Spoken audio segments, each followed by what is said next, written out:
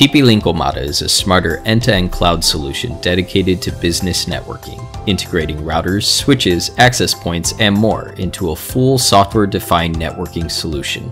Omada provides 100% centralized cloud management and a highly scalable network all controlled from a single interface anywhere anytime.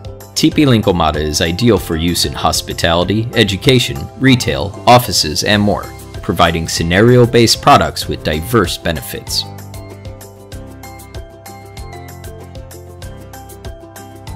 TP-Link offers several types of Omada SDN controllers, including hardware controllers, software controllers for Windows and Linux, and a cloud-based controller. The hardware controller is a professional Omada SDN controller with no need to run a PC or server. Its management scale varies by model, catering to small and medium networks and requires a hardware investment.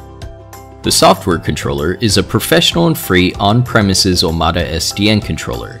It must be installed and remain active on your PC or server to manage your devices. It supports an unlimited management scale, but the actual scale depends on the PC or server's hardware specifications, applicable for medium to large networks. A spare PC is required.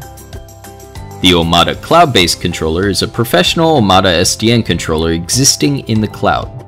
It supports an unlimited management scale, applicable to medium to large networks.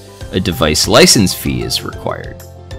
All these controllers support remote access via the Omada Cloud, you can choose the right controller that best fits your business.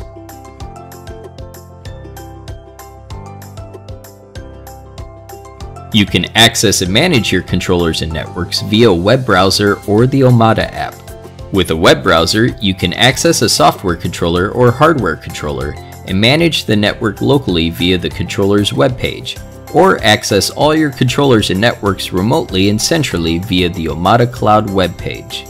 With the Omada app, you can remotely access and manage all your controllers and networks with a tap on your phone from anywhere in the world. Local access to software controllers and hardware controllers are also supported.